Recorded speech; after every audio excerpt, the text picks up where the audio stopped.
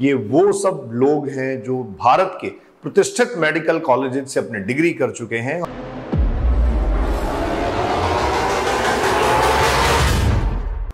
दोस्तों एमबीबीएस के लिए कॉलेज का चुनाव करने से पहले हमें यह ध्यान रखना होता है कि मेडिकल एजुकेशन की जर्नी 10 से 12 साल की करीब करीब है और यह यात्रा आपके सुखद और स्वर्णिम भविष्य की बुनियाद बनने वाली होती है।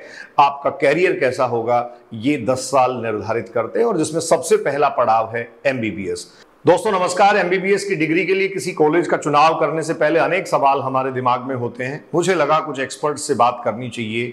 ये वो सब लोग हैं जो भारत के प्रतिष्ठित मेडिकल कॉलेज से अपने डिग्री कर चुके हैं और अपने कैरियर को अब एक्सटेंशन दे रहे हैं। सबसे पहला नाम मैं आपको रूबरू करवा रहा हूँ, doctor Ravikant Beniwal. SMS medical college Jaipur से आपने एमबीबीएस किया। फ़िलहाल आर्मी में पोस्टेड हैं और 2015 बैच के स्टूडेंट एमबीबीएस में आप रहे हैं। दूसरा नाम है doctor Farha Khan SMS medical college Jaipur से ही आप अपनी डिग्री कंप्लीट कर चुकी हैं और अब आप अपना इंटर्न कर रही हैं। Doctor Umesh Chaudhary SNMC medical college Jodhpur 2016 batch के आप स्टूडेंट हैं और अब आप जो है वो अपना कैरियर आगे बढ़ा रहे हैं। इसके साथ ही अगला नाम है डॉक्टर सोहेल खान, डॉक्टर मोहम्मद सोहेल शेख ये भी आर एन टी उदयपुर से अपनी डिग्री कंप्लीट कर चुके हैं और अब अपने कैरियर में आगे की राह देख रहे हैं।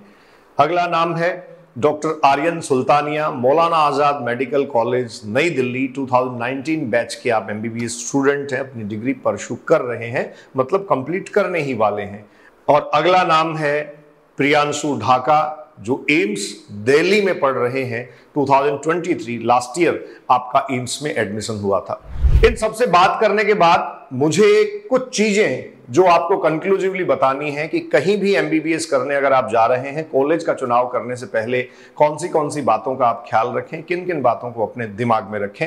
आइए बात करते हैं। एमबीबीएस कॉलेज का चुनाव करने से पहले आप ये देख रहे हैं MBBS MD DM post graduation के बाद भी डॉक्टर ऑफ़ मेडिसिन आपके कैरियर को बहुत ऊंचाइयाँ दे देता है। तो ये जो यात्रा है, इस यात्रा में सबसे पहले आपको ध्यान रखने की ज़रूरत है एक्सपोजर आप जहाँ कहीं भी जा रहे हैं, जहाँ कहीं भी कॉलेज का चुनाव कर रहे हैं, वहाँ ये ज़रूर देख लें कि उस सिटी का, उस शहर का एग्जैक्टली स्टैंडर्ड क्या है, क्योंकि वो आपको एक्सपोजर देगा। वो एक क्लियर एनवायरमेंट जो है वो आपको प्रोवाइड करवाएगा और वही आपकी पर्सनैलिटी आप में क्वालिटीज का समावेश करेगा, आपका अपना एक व्यक्तित्व निर्माण करेगा। जैसे आप दिल्ली, कोलकाता, मुंबई, चंडीगढ़, बेंगलुरु, जयपुर इस तरीके के बड़े शहरों में जा रहे हैं तो निश्चित तौर पर आपका व्यक्तित्व ज़्यादा अच्छा हो सकता है। इसलिए क्योंकि आपके पास एक्सप्लोर करने के लिए ज़्यादा चीज़ें हैं, संसाधन ज़्यादा हैं। खैर, इसके इतर एक बात यह भी है, बहुत छोटे शहरों में ज़िंदगी थोड़ी सुकून और आरामदायक होती है। अगली बात यहाँ हम देख सकते हैं इंस्टीट्यूशनल कोटा। सबसे इंपॉर्टेंट और महत्वपूर्ण इन विद्यार्थियों से बात करने के बाद जो निकलकर सामने आया वो ये है एमबीबीएस करने से सिर्फ़ काम नहीं चलता, जैसी भागदौड़ भरी ज़िंदगी, जैसी प्रतिस्पर्धा और गला काट स्पर्धा अब मेडिकल में भी बढ़ती जा रही है। आपका कैरियर तभी सेटल हो सकता है जब आप अच्छे सब्जेक्ट के साथ पीजी करें तो इसके लिए इंस्टीट्यूशनल कोटा बहुत ज़्यादा ज़रूरी है। और ये जो इंस्टीट्यूशनल कोटा है, इस इंस्टीट्यूशनल कोटा में आपको ये देखना है, जिस कॉलेज में आप पढ़ रहे हैं, क्या आपका कॉलेज जैसे एम्स संस्थानों की मैं बात करूँ तो क्या आपका संस्थान या आपके कॉलेजेस पीजी सीट्स में आपके लिए इंस्टीट्यूशनल कोटा रखते हैं? जैसे एम्स संस्थानों में आप देखेंगे तो इंटरनल कोटा है इसको आई क्यू में लिख देता हूँ इंटरनल कोटा अर्थात वहाँ से एमबीबीएस कर रहे बच्चों के लिए पीजी में सीटें आरक्षित होती हैं। ऐसे बहुत सारे इंस्टीट्यूशंस और कॉलेजेस हैं जिनमें इंटरनल कोटा है और ये आगे आपको बहुत मदद दे सकता है। जैसे बहुत साधारण सी बात मैं करूँ, आप किसी स्टेट के किसी एक अच्छे प्रतिष्ठित कॉलेज में गए, मान लीजिए आप एसपीएमसी बीकानेर में गए और दूसरा आपने मेडिकल कॉलेज जोधपुर का चुनाव किया। मेडिकल कॉलेज जोधपुर एम्स की बात मैं कर रहा हूँ। अब एम्स जोधपुर में आप गए और दूसरी तरफ़ आप एसपीएमसी बीकानेर में गए, ठीक है? इन दोनों में से सबसे बड़ा बेनिफिट आपको एम्स में यह है कि इंस्टीट्यूशनल कोटा वहाँ मिलेगा जब आप पीजी कर रहे होंगे। मान लीजिए जनरल मेडिसिन या रेडियोलॉजी, जो बहुत डिमांडिंग ब्रांच है, कहीं यहाँ जो है वो आपको बहुत कम रैंक पर मेडिसिन और रेडियोलॉजी में पीजी मिल सकती है। तो यहाँ बहुत बड़ा गैप हो सकता है। तो ये एक बात निकल कर आई कि एम्स और स्टेट मेडिकल कॉलेजेस जो हैं, उनमें सबसे ज़्यादा ज़रूरी बात आपको देखने वाली जो होती है, वो है इंस्टीट्यूशनल कोटा, इंटरनल कोटा जिसमें आप पीजी करते हैं। इसके बाद बॉन्ड पॉलिसी सबसे ज़्यादा उभर कर सामने आई। बॉन्ड पॉलिसी अगर है तो आपके कैरियर को एक दो साल ब्रेक लगाने के लिए काफ़ी है। कई कई जगह पाँच साल के बॉन्ड भी होते हैं। कई जगह अगर आप देखेंगे तो बॉन्ड पॉलिसी के कारण बच्चे को बहुत सफ़र करना पड़ता है। तो ये आप बात ध्यान रखें, ऐसे कॉलेजेस का चुनाव करें, ऐसे कॉलेजेस का आप चुनाव करें, जहाँ या तो बॉन्ड है ही नहीं, और अगर बॉन्ड है भी तो लॉर ड्यूरेशन का हो, कम समय अवधि का हो मान लीजिए आप अपनी रैंक के हिसाब से ऐसे कॉलेज का चुनाव नहीं कर पा रहे, जहाँ बॉन्ड नहीं है, लेकिन ऐसे कॉलेज का चुनाव आप बहुत आसानी से कर सकते हैं, जहाँ लॉर ड्यूरेशन के बॉन्ड होंगे। जैसे एम्स में बॉन्ड नहीं है, बच्चे दिल्ली के कॉलेजेस प्रेफर करते हैं, वहाँ आपको पता है दिल्ली स्टेट कॉलेजेस में भी बॉन्ड नहीं है। बहुत सारे स्टेट्स में कम समयावधि के बॉन्ड हैं, जैसे राजस्थान। लेकिन हरियाणा में आपको पता है, कुछ साल पहले पाँच साल के बॉन्ड की बात सामने आई थी, बड़ा विवाद हुआ था और उसके बाद में आखिर जाके वो सेटल हुआ। तो ये बॉन्ड पॉलिसी बहुत ज़्यादा ज़रूरी है।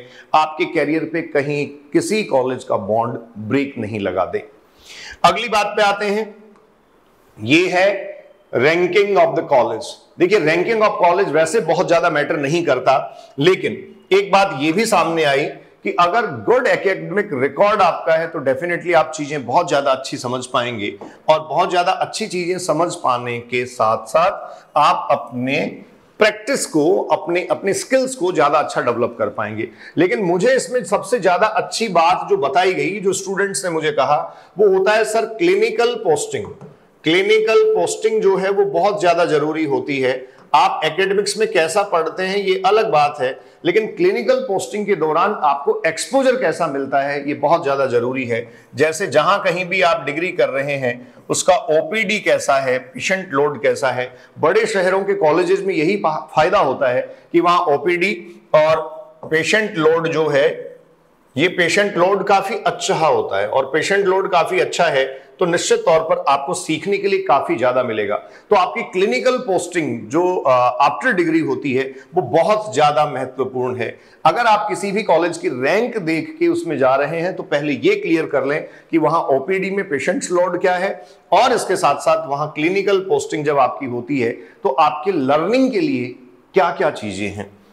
अगले पॉइंट पे हम आते हैं और दोस्तों, ये जो है वो आपके सामने सबसे लास्ट वाला पॉइंट है एक तरीके से। Surrounding environment accommodation culture language food etcetera north India का बच्चा साउथ इंडिया में जाता है तो इन सब चीज़ों को कहीं ना कहीं आपको फेस करना होता है। किसी साउथ इंडियन को अगर नॉर्थ इंडिया में आना पड़ता है, तब वो फेस करता है। खैर यूनिटी इन डाइवर्सिटी हमारी कंट्री का कल्चर है, लेकिन फिर भी एक बात आप ज़रूर ध्यान रखें जिसपे हमें बहुत ज़्यादा गौर करने की ज़रूरत है। आप अपने सराउंडिंग एनवायरमेंट को ज़रूर पता कर लें कि जहाँ आप जिस कॉलेज में जा रहे हैं, कम से कम डिग्री के पाँच, साढ़े पाँच साल आपको वहाँ रहना है तो आप कैसी परिस्थितियों में वहाँ सरवाइव करेंगे?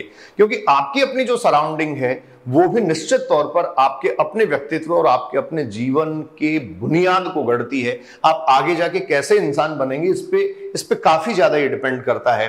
अकोमोडेशन में भी, जैसे मैंने इन डॉक्टर से इन स्टूडेंट से बात की अकोमोडेशन में भी जो है, वो एक बात ये निकल कर आई, सर हॉस्टल कैंपस काफ़ी मैटर करता है। को करिकुलर एक्टिविटीज़ जो है, उनके लिए कितना स्पेस है, ये भी बहुत मैटर करता है। और कभी कभी मैटर ये भी करता है कि ट्रांसपोर्टेशन मतलब आपके घर से ये जो है, वो कितनी दूरी पे है, कहाँ है, कैसा कल्चर और लैंग्वेज है। कई बार ऐसा होता है कि हमारी ब्रिंगिंग कुछ ऐसी होती है कि हम जो हैं, वो अनईजी फील करते हैं बहुत सारे परिवेश में, बहुत सारे एनवायरमेंट्स में। बट मैं आपको बता दूँ, अगर आप डाइवर्सिटी फेस करेंगे तो आप ज़्यादा अच्छा मज़बूत बनकर निकलेंगे।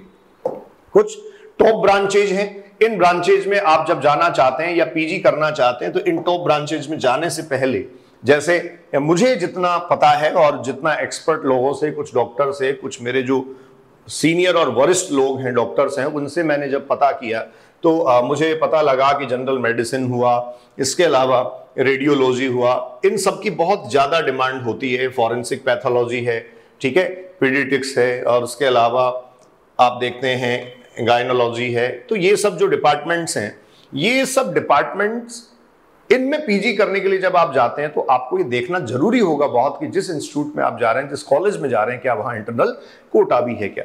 तो एक तरीके से मैं समराइज कर दूँ, आपको किसी भी एमबीबीए, किसी भी मेडिकल कॉलेज में जाने के पहले, एमबीबीएस करने के लिए जाने से पहले कुछ विशेष बातों का ध्यान रखना चाहिए। सबसे पहली और ज़रूरी बात है बॉन्ड पॉलिसी, दूसरी ज़रूरी बात है इंस्टीट्यूशनल कोटा, इंटरनल कोटा इसके बाद ज़रूरी बात है कॉलेज का एकेडमिक स्टैंडर्ड और इन सबसे भी ज़्यादा ज़रूरी बात है, जहाँ जिस कॉलेज में आप जा रहे हैं, वहाँ ओपीडी कैसी है क्लिनिकल पोस्टिंग में आपको कितना सीखने को मिलता है एग्जैक्टली पेशेंट लोड कैसा है। मैं एम एम बल्डोदिया अभिव्यक्ति के माध्यम से आपसे मुखातिब हो रहा था। सबसे पहले तो इस वीडियो में जिन लोगों से मैंने आपको रूबरू करवाया, उनका धन्यवाद कि उन्होंने अपनी कीमती टिप्पणियाँ, कीमती सुझाव आप सब बच्चों तक पहुँचाने की कोशिश करी।